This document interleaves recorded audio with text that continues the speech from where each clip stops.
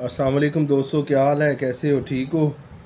दोस्तों, आज की वीडियो में बात करने जा रहे हैं सोनी धरती एप्लीकेशन के बारे में ओवरसीज़ के लिए। ये सोनी धरती एप्लीकेशन जो कि इमरान खान की दौरे हुकूमत में मुतारफ़ कराई थी स्टेट बैंक ऑफ़ पाकिस्तान ने, और फिर रोशन डिजिटल अकाउंट भी मुतारफ़ कराया था। तो सोनी धरती में जो करंट इलेक्शन हुआ है ना अभी तब से ना लोगों को पॉइंट्स मिलने बंद हो गए हैं, तकरीबन ना होने के बराबर हैं। और सही तरह किसी का ऐप ही नहीं चलता, किसी का ऐप डाउनलोड नहीं होता।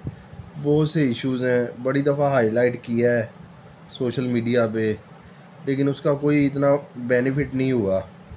तो मसला ये है कि पता नहीं ओवरसीज़ को ये लोग कुछ समझते ही नहीं।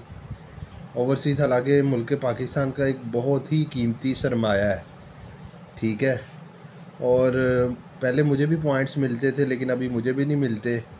मैं पाकिस्तान आया था तो मैंने इनकी हेल्पलाइन पे कॉल की। कॉल करके मैंने पूछा कि रीज़न क्या है जी, कि रोशन डिजिटल अकाउंट जिनके हैं, उन्हें पैसे नहीं मिलते।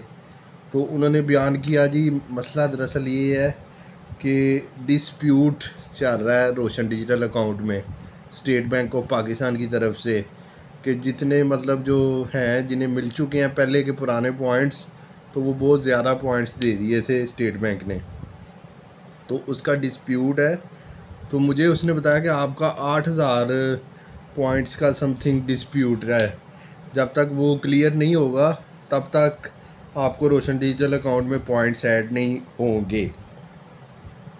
और फिर उस मोहतरमा ने लेडी थी कोई कस्टमर केयर पे, उसने फिर बताया कि मतलब जो है मसला दूसरे लोगों का जो आईडी कार्ड पे पैसे भेजते हैं और उनको पॉइंट्स मिल रहे हैं।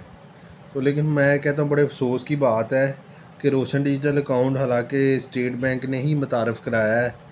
तो जिनका वो रोशन डिजिटल अकाउंट है, वो पैसे भेजते हैं, उन्हें ये लोग इस तरह तंग करते हैं। तो आप ही कमेंट्स में बताएँ कि क्या करना चाहिए हम ओवरसीज़ पाकिस्तानी को। Thank you